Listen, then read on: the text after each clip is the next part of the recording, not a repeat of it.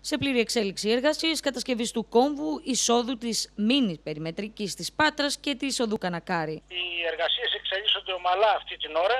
Στόχος μας είναι να πιάσουμε το χρονοδιάγραμμα το οποίο έχει πει. Ε, βέβαια είναι ένα έργο που γίνεται μέσα στον οικιστικό ιστό με τα προβλήματα που δημιουργούνται σε τέτοιες περιπτώσεις. Είτε αφορά ε, πολίτες, καταστήματα, ε, είτε αφορά την αρχαιολογία και η Πάτρα όπως ξέρετε στην ουσία είναι τρία επίπεδα, τρεις διαφορετικοί αρχαιολογικοί χώροι ανακαλύπτονται κάθε φορά που προχωρούμε.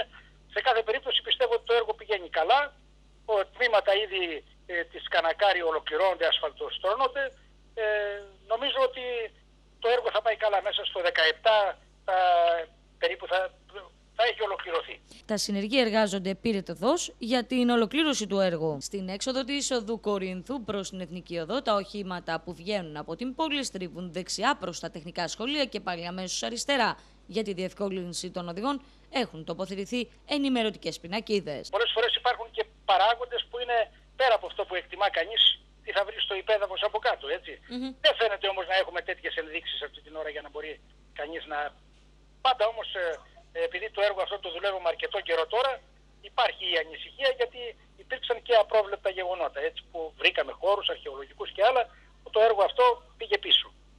Λοιπόν, ας ελπίσουμε ότι όλα θα πάνε καλά και γρήγορα θα ολοκληρωθούν και οι διαδικασίες στον κόμβο Κουρτέση και θα δοθεί και ο δρόμος στην κυκλοφορία. Βεβαίως. Γιατί προ... σε τελευταία ανάλυση είναι η στόχευση την οποία έχουμε ως περιφέρεια. Ε, πρόκειται για μια πολύ σημαντική ανάσα τόσο με τη μήνυ περιμετρική όσο και με την Κανακάρη στο κυκλοφοριακό της πόλης. Ναι, ναι, ακριβώς. Πιστεύω ότι αυτή την ώρα τουλάχιστον ε, ε ικανοποιητικά προχωρούν οι εργασίες ε, και είναι μέσα